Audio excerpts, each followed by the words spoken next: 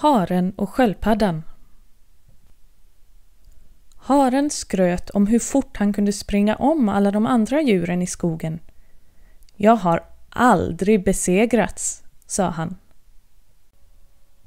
Haren sa Jag utmanar vem som helst här att springa i kapp med mig. Då svarade sköldpaddan tyst. Jag accepterar utmaningen, herr hare. Ska vi börja loppet? Det var ett roligt skämt, sa haren. Jag kommer dansa omkring dig hela vägen. Vi tar ett lopp. Kommer det här loppet bli enkelt eller vad?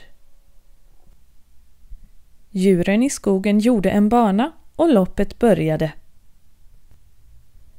I snabb fart försvann haren genast ur sikt.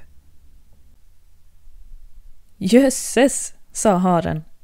Jag är så snabb att jag har tid att leka på ängen och ta mig en lur. Medan haren sov fortsatte sköldpaddan långsamt, ett steg efter det andra.